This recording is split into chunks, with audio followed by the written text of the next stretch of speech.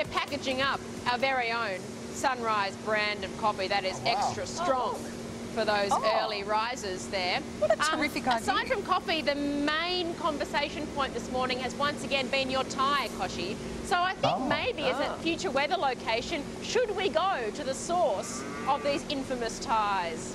Wow. Where is it, Melbourne? Yeah, I do pay, pay full price for it, so I don't. Not, Well, but which you anyhow, are happy to do. no, Don't it's a. Look, I've got a bit of makeup on it. Don't. Oh, it's coffee. They Is it got a bit of makeup. it's No, they got a bit of makeup on it today. Uh, slapping it on. But a great little family business in Melbourne, uh, just off Degraves Lane, Well. called Cubic. There we go. Perhaps That's a terrific. future weather location. Not for bad. Let's check it out. Perfect. Maybe check out the laneway and see what other family businesses are around. You don't want to do six Lovely. crosses from the tyre shop. Well, there Share are it plenty of around. ties. Well, Well, you never know. You I never don't know how interesting that Plenty would of be. ties. A whole morning of ties. They do have a spread of For ties. me, I would love it. Thank you, Eddy. They create a lot of interest. Our